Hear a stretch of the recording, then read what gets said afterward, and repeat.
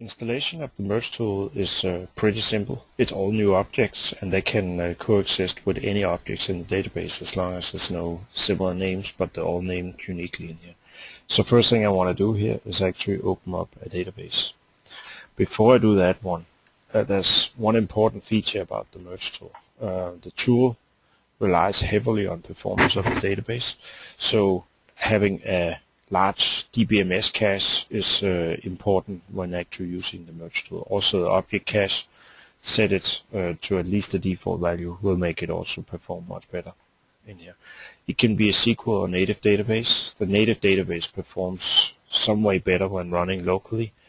On a network connection, it's kind of the same issue if it's native or SQL database. But I'm running local, so I'm going to open up a database. And this one is just a 2009 R2, the latest uh, database released for Microsoft, it's W1. But it can be any version.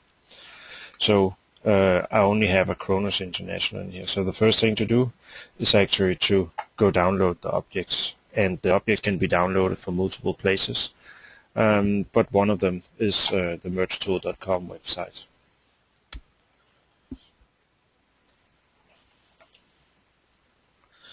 And if you click on the merge tool out here, there's uh, several uh, webinars and things like that one. But down here is something called merge tool history, and it basically explains the whole list of which version, which improvement there's in, and so on. And it goes uh, pretty far back in time in here. So uh, let's um, download this latest version in here.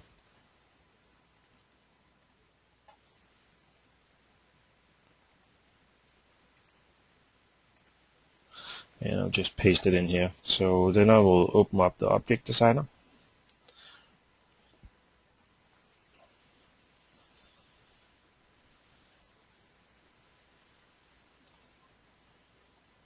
And uh, of course I need to uh, uncompress the objects in here. So uh, let's just extract them here.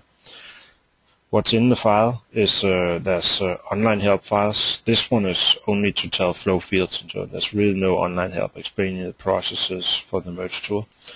But it has a token in there so each of them can be seen. If you're converting from an old version of the merge tool, in the old object range, you can actually run this conversion in here and it will move all the data. This one is all the new objects, so that's the one I actually need in here. So let's go and open up that file.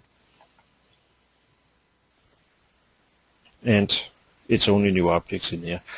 All of them will have MGT in the version list in here. And I'll just go compile all of them to ensure that's no problem with my current database in here.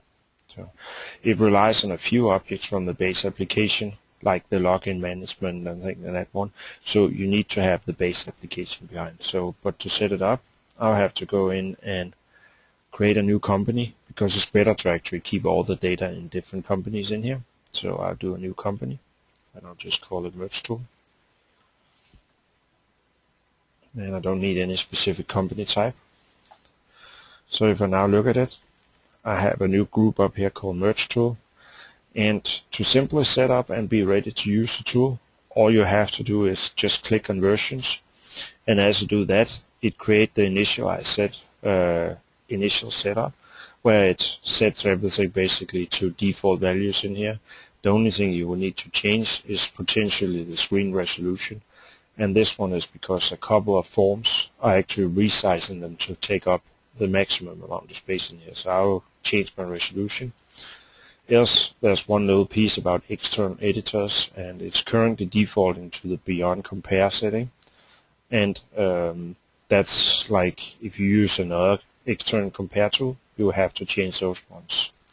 But when I click escape, I'm now ready to actually start using the merge tool. The only thing you have to do, just click on versions and then create the default setup, then change the resolution and you're basically ready to go.